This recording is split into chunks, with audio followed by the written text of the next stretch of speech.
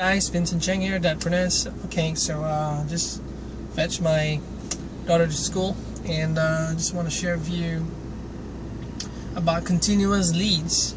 Um, in any business, uh, the first thing you got to do is to know how to generate leads and prospects to your business, right? Um, in any way, you cannot stop that flow from um, stopping, right? Because uh, that is the funnel which you'll be uh, the first thing which you need before a lead or prospect converts. Some some generate leads by way of offline and and uh, chatting with people and, and business networking, and some actually uh, do it online. Like like me, every day we, we launch some advertising and then and leads come in automatically every day without us being there.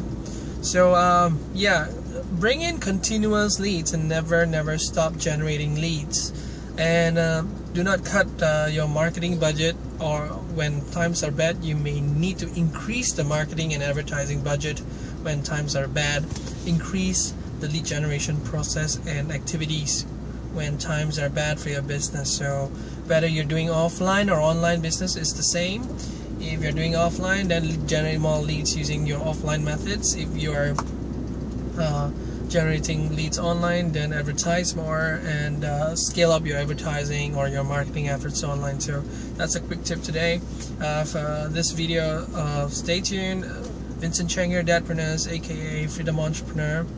Uh, signing off uh, or familypreneur that's a new term. So please do like share and subscribe. Take care and God bless you. Bye bye